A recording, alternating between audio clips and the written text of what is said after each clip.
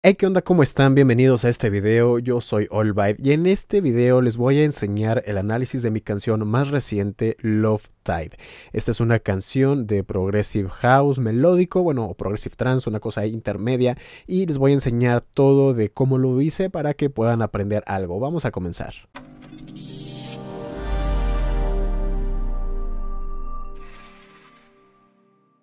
Antes de cualquier cosa les voy a mostrar un pedazo de la canción para que sepan de qué estamos hablando. Esta es la introducción.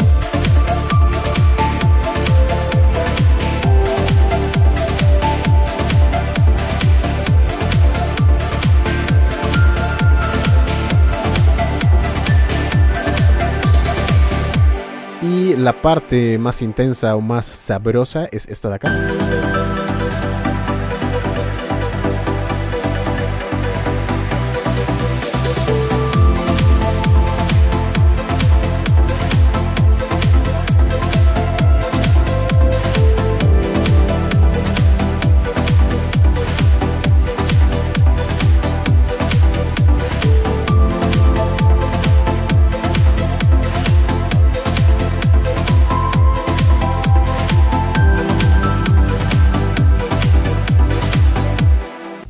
Ok, ya con eso se pueden dar una muy buena idea. Si quieren escuchar el track completo, por aquí arriba a la derecha les voy a dejar el link para que vayan y escuchen la canción completa y la puedan disfrutar tranquilamente.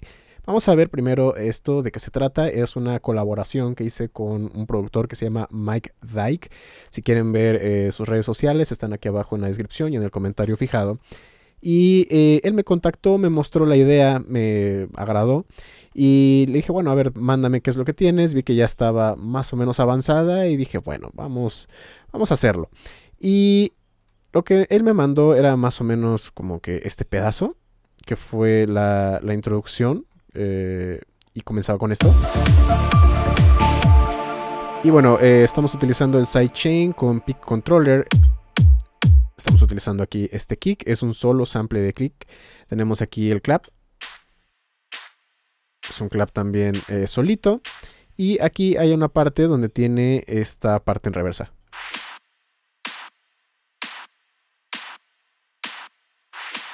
Ok, es para darle un poquito de groove. Y aquí eh, ya estamos utilizando hay dos sonidos más al inicio y es algo que siempre les comento mucho.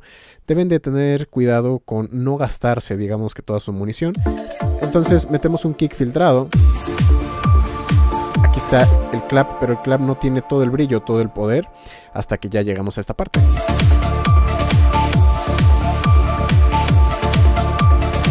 ahí pueden notar la diferencia.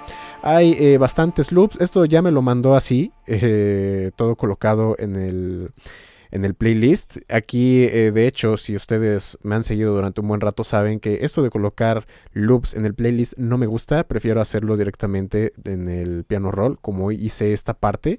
Esto sí ya lo hice yo. Porque, bueno, tiene muchas ventajas. Si quieren saberlas, está por aquí arriba a la derecha la tarjeta para que puedan ver ¿no? la gran diferencia entre utilizar un audio clip y eh, utilizarlo en el channel rack como un slicer.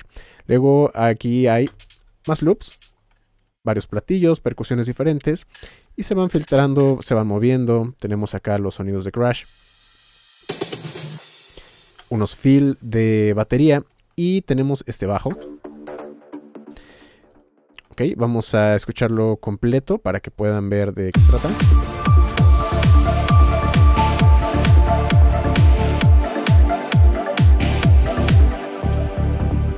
Originalmente cuando él me lo mandó había algunos sintetizadores externos, pero eh, yo lo convertí a, sintetizadores internos de FL Studio. Y eh, convertí entonces este sonido en un layer. Aquí podemos ver, este es el bajo subgrave, es mi amadísimo 3X Oscillator. Aquí está la cadena de proceso. Tiene simplemente un poco de ecualización y de distorsión, Para darle más crunch. Pero bueno, el sonido en sí es, eh, aquí está una onda senoidal, una onda diente de sierra. Estamos aplicando un filtro eh, con una resonancia bastante generosa.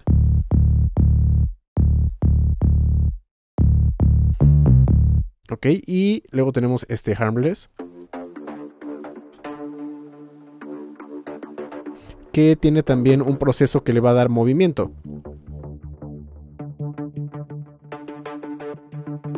Ok, ahí pueden ver cómo estamos aplicando Bit Crush, estamos aplicando también eh, distorsión, estamos aplicando eh, al final a la reverberación. Y este bajo es el que le da el ambiente y el otro es el subgrave.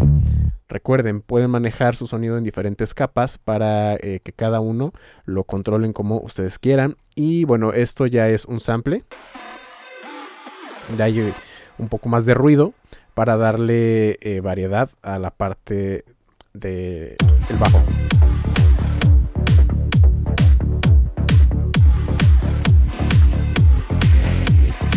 Este también eh, me lo mandó, ¿no? Ya eran bajos sintetizados que venían eh, en, esta, en este modo, ¿no? Como audio clips.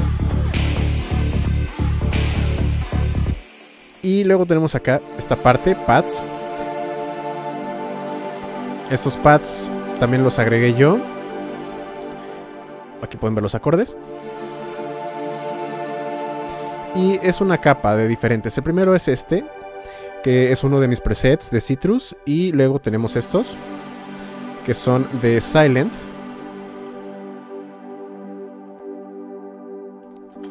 Está toda la capa.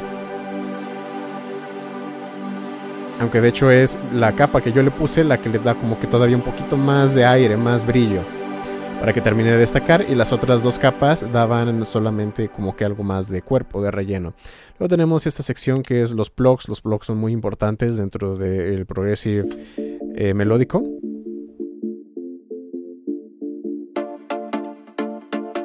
Ok, están los acordes. Era un solo patrón y el patrón está recortado varias veces para hacer algunas variaciones.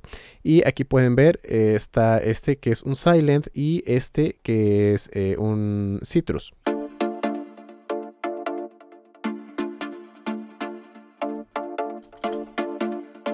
este principalmente tiene el ataque. Y cuando se abre el filtro es el que tiene el mayor cuerpo. Y esto nos da todavía un poquito más de ataque, más de ruido. Un poquito también más de cuerpo en frecuencias medias altas. Ahí están. Luego agregué este arpegio. No, este ya, ya venía. Este es el arpegio que él hizo. Yo hice este. Y podemos ver acá las notas. Esto es eh, una parte Nexus. Otra parte es esto, Citrus, que le da como que cierto movimiento. Y ahí están, ¿no? Las capas de Nexus, esto igual es algo que ya me había mandado, yo solamente eh, reutilicé, digamos que parte de, su selección de sonidos para crear nuevas melodías. El piano, este sí eh, era un synth externo. Y yo lo cambié por dos Direct Wave. Uno tiene el brillo y otro tiene el cuerpo y también están abiertos para darle todavía mucha eh, mayor sensación de amplitud. Aquí está el tratamiento. Y si pueden escuchar, hay cierta humanización. Aquí pueden ver ¿no? el volumen de las notas. No es como que todo esté simplemente al 100% de volumen. Y esto se nota más cuando llegamos a la parte de... También aquí. Son unos acordes sencillos. Y luego entramos con la melodía. Esto sí ya está completamente humanizado.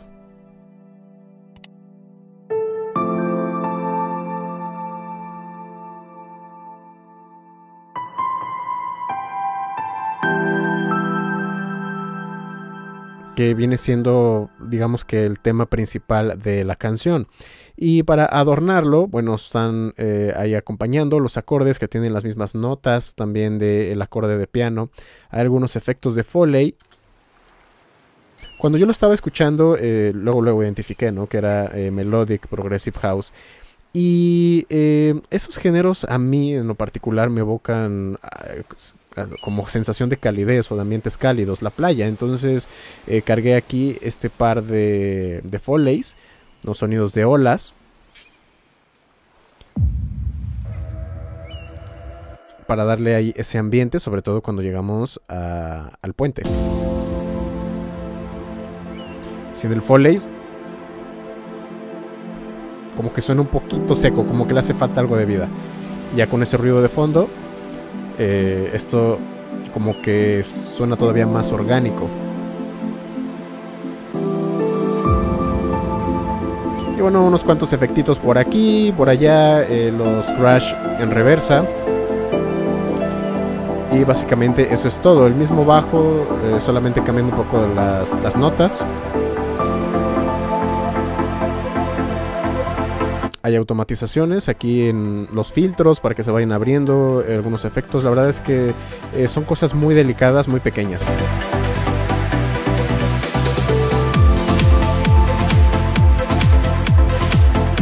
Ok, y bueno, aquí está la mezcla. Pueden ver, eh, hay mucha disparidad en algunos faders, lo cual es perfectamente normal.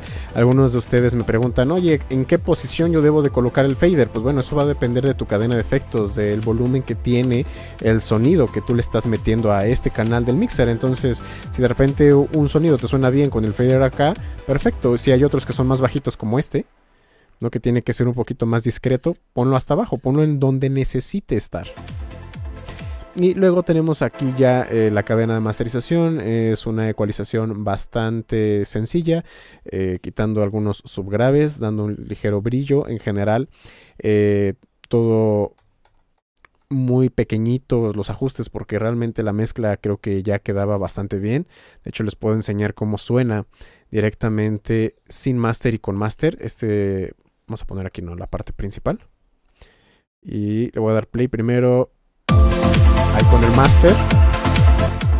Y sin el master.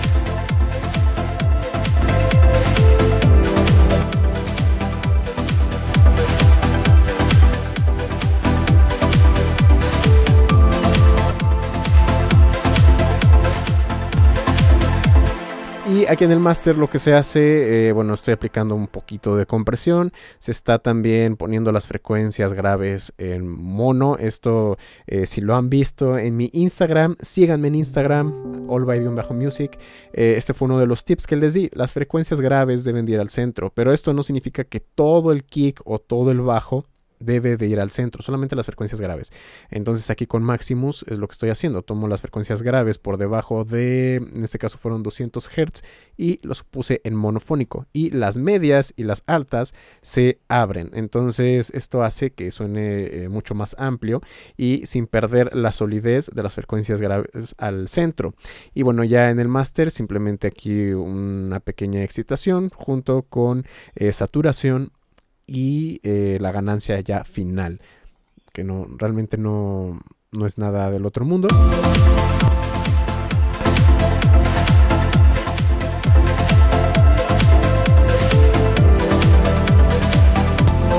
En cuanto a la estructura, es bastante lineal. Eh, tenemos aquí la introducción. Eh, simplemente con un poquito de percusión. Van entrando los loops. Van entrando los filtros también. Exactamente ahí, casi al minuto, es cuando ya entra la línea de bajo. Dura aquí un rato. Llegamos a la parte que se convierte el puente, se presenta la canción principal.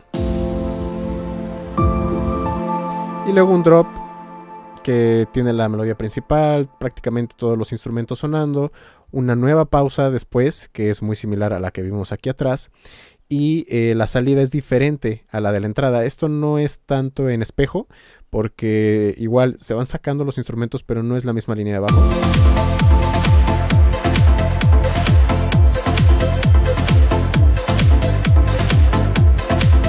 De hecho, los acordes cambian también. Aquí pueden ver cómo originalmente había cierta progresión y ya al final son simplemente lineales. Los plugs.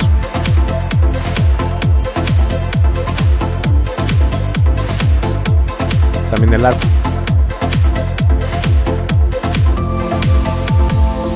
Bueno, ahí eh, voy haciendo un desvanecimiento, voy sacando poco a poco los instrumentos, dejo que se queden sonando eh, el foley en el fondo y termino ahí con este acorde humanizado para que quedemos en paz.